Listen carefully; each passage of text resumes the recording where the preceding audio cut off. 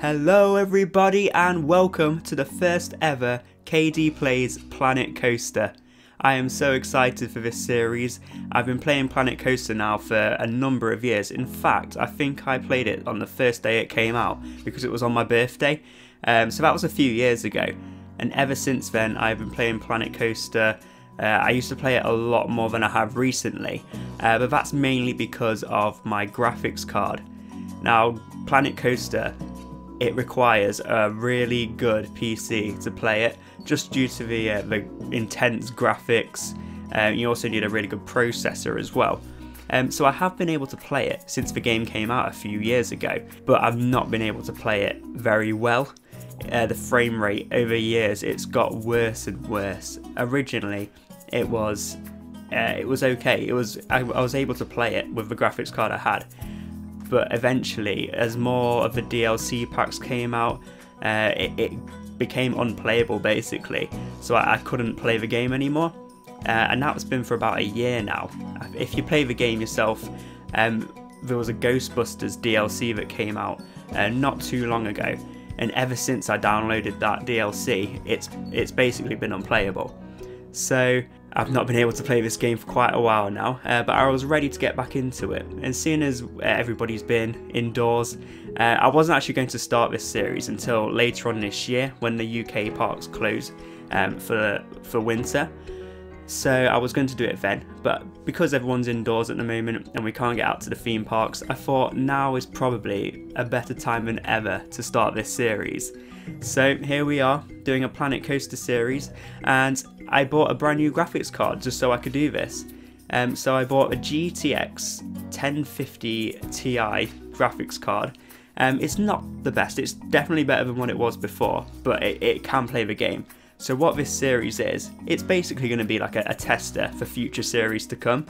Um, so I'm going to be building a full theme park um, as you can see I've started building this already and I'll move on to what I'm doing at the moment uh, in just a sec. But I'm going to be building a full theme park. It's going to have four different, and wait no, three uh, different theme lands and also like an entrance plaza.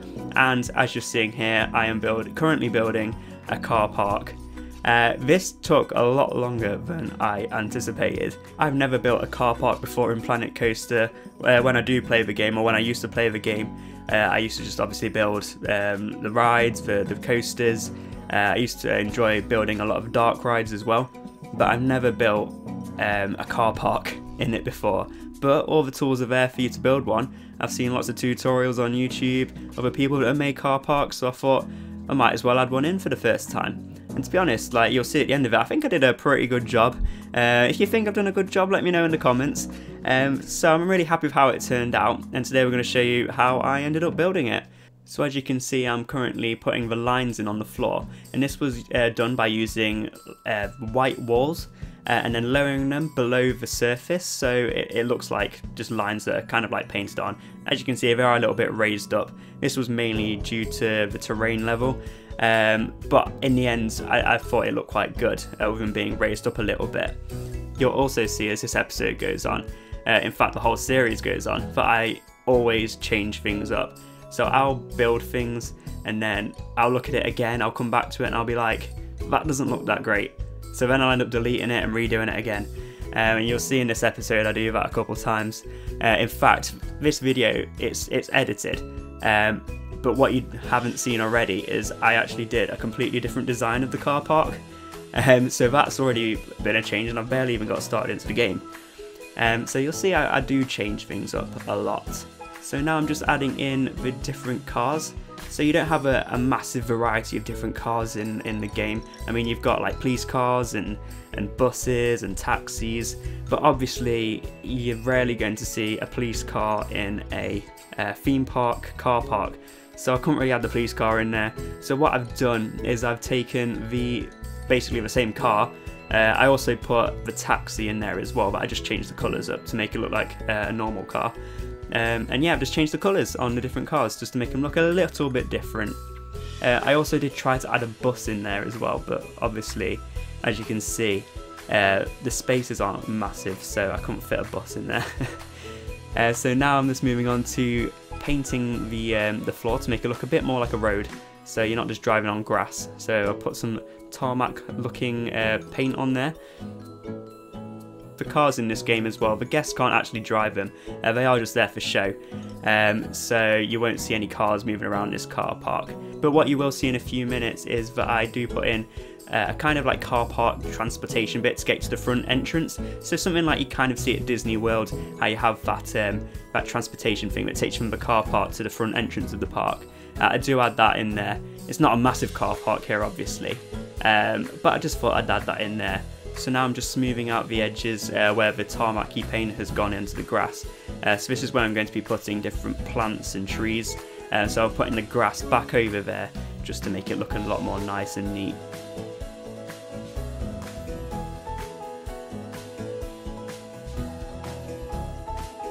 You'll also see there as well that I've put um, some walls um, in that section of the car park, uh, but then you'll see them disappear again.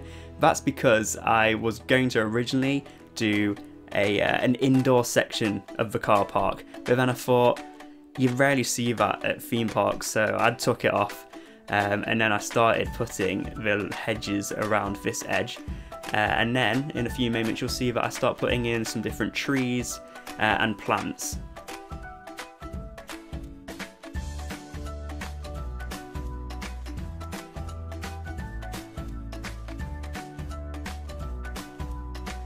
If you've played this game, you'll know it takes uh, a lot of accuracy. I mean, it, it takes a lot of uh, work to make everything look really nice uh, and look proper realistic. So as you can see here, I'm, I'm moving those hedges to try and line them up perfectly. As you can probably see, I was having a little bit of a hard job. Um, but in the end, it is worth it because it looks really good.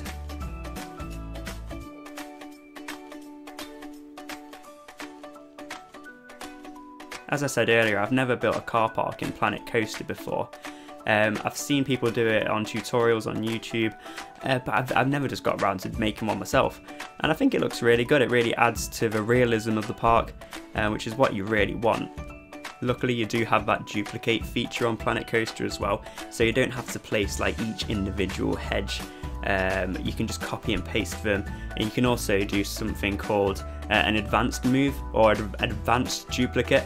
So once you've done like a full line of uh, hedges or something, you can just move it uh, horizontally across um, just to match the opposite side perfectly.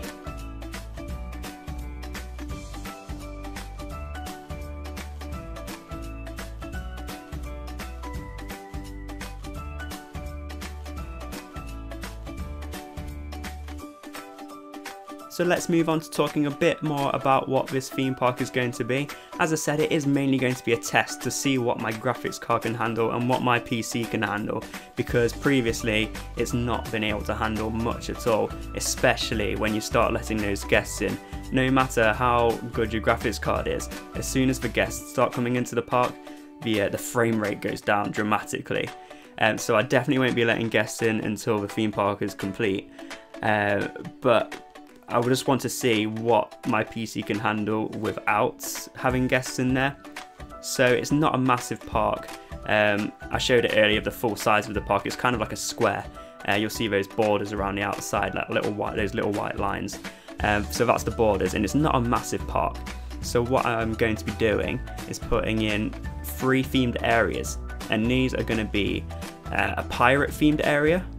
We're going to have a spooky themed area, and we're also going to have a sci-fi themed area.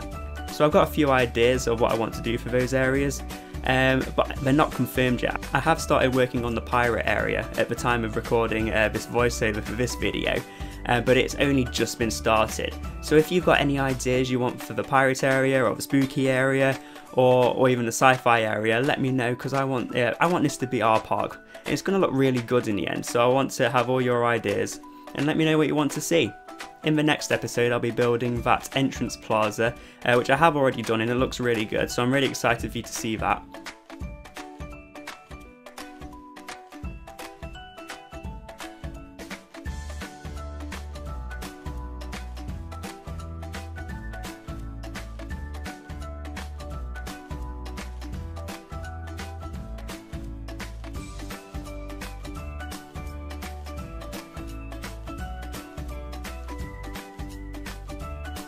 At the moment I'm currently building that transportation system for the car park. So this will take you from one end of the car park, which I end up calling uh, car park B, over to the, the entrance of the park. Um, just to save you from walking. As I said, it's not that far at all, but if you're feeling extra lazy, then you can uh, just take this little transport system.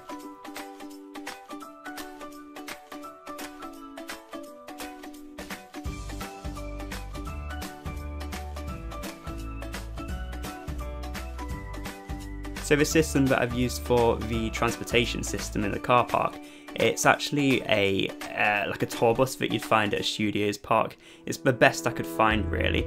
Um, there's no point in putting in a monorail or anything like that because it's not a massive car park. So I thought this would probably be the best system for this. I do make it a little bit more exciting in a minute where I raise the terrain uh, so it goes through like a, a little mountain type thing. Uh, it just adds to it really.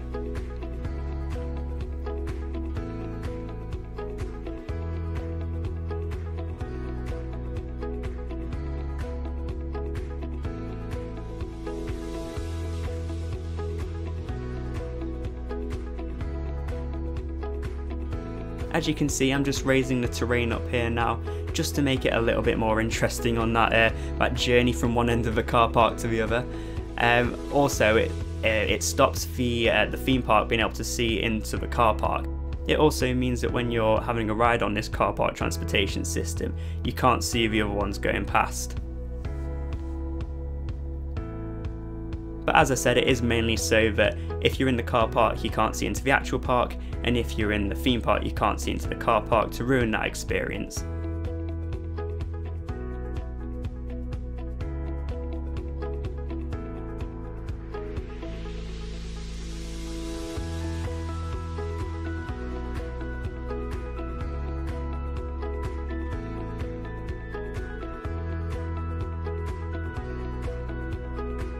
So as you can see it's coming on quite nicely now, adding in those different trees, uh, it's making it look a bit more full.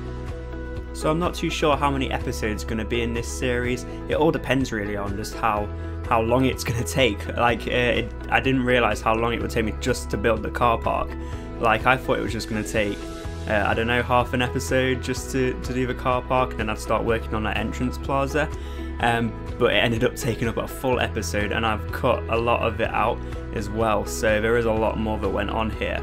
Uh, but I didn't want to make it too boring. I've sped it up quite a bit as well, um, just so you don't get too bored, because it is mainly just me putting in different plants and there's little bits of scenery here.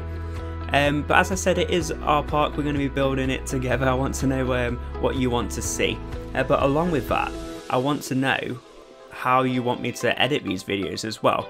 So I've sped the video up and I'm just going to be doing like commentary over the top, tell you what I'm doing and what I have planned for the future and all other stuff to do with theme parks and Planet Coaster uh, we can talk about on here. Um, but let me know what you want to see. Along with changing my graphics card, is something that I need to look into as well is my actual editing software because when you export a video, it does take some of that quality out of it.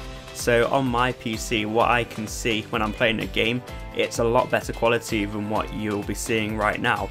Uh, so what I need to look at is a better way of exporting my videos and getting that quality looking as good as it can be. Because one of the main issues is that once I have recorded the footage, I then have to edit it um, to what you can see now and speed it all up. But then I have to do the voiceover over the, over the top of it as well. So that means I have to export it twice, which really does take some of that quality out. Um, so as I said, you are going to see the quality a little bit less than what I can see. Um, so I need to look into ways into fixing that and making it look as good as it can be. Let me know what you think down in the comments below. I read them all uh, on YouTube and all on Instagram and all the other social medias as well. Uh, so yeah, let me know. So as you can see now, I've started putting in a lot more of the scenery, like the, uh, the plants and the trees, and I've also adding these road signs in as well. Uh, I've also included like a speed limit, um, so just little things that you would find in a, a normal car park. Um, so obviously I've kept the other speed limit down to 5 miles per hour in this car park. I've blocked a few spaces off with those traffic cones and I'm just getting those little direction signs in as well.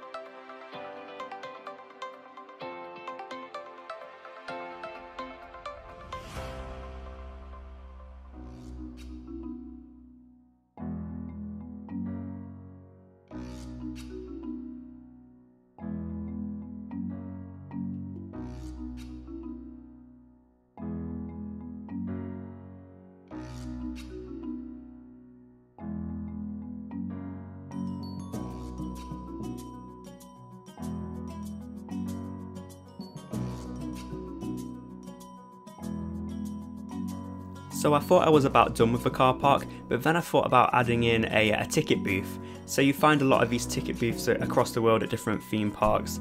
Um, just for some, for example, like Disney World and Universal Studios, um, you have to pay for your tickets before you go into the car park.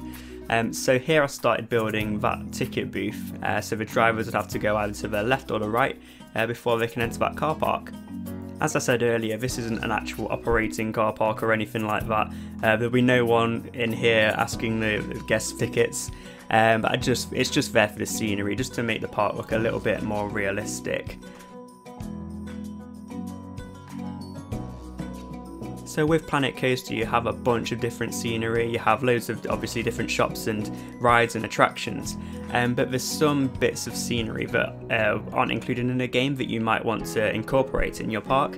Um, for example, what I'm doing here is I'm making my own barrier for the ticket booth.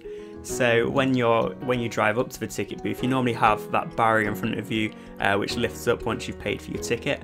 Obviously, this won't be in the game, uh, but it was very easy to make. I just got uh, a few different little shapes, uh, and I, I, don't know what it was. It was like a bit of fencing or something uh, that I put on uh, as the barrier itself, and I think it looked pretty good. And I added on a little light as well on top of there, just to make it look a little bit more realistic.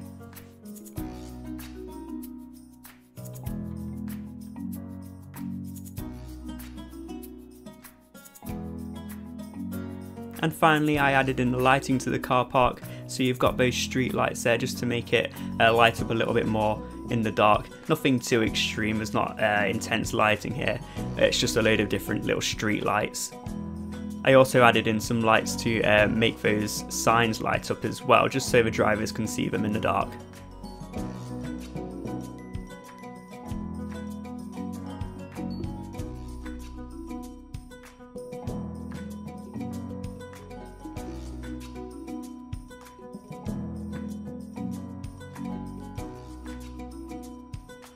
So there we have it, that's the car park complete. But before we end this video, let's just take a quick ride on that car park transportation system.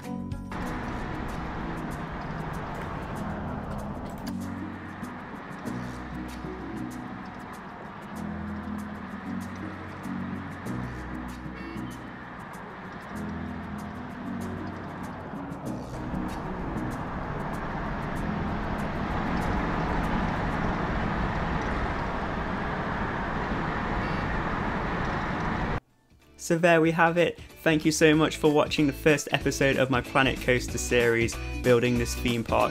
I'm super excited to start building more to this park and start building lots of rides. As I said, let me know down in the comments below what you want to see in this park and what to include.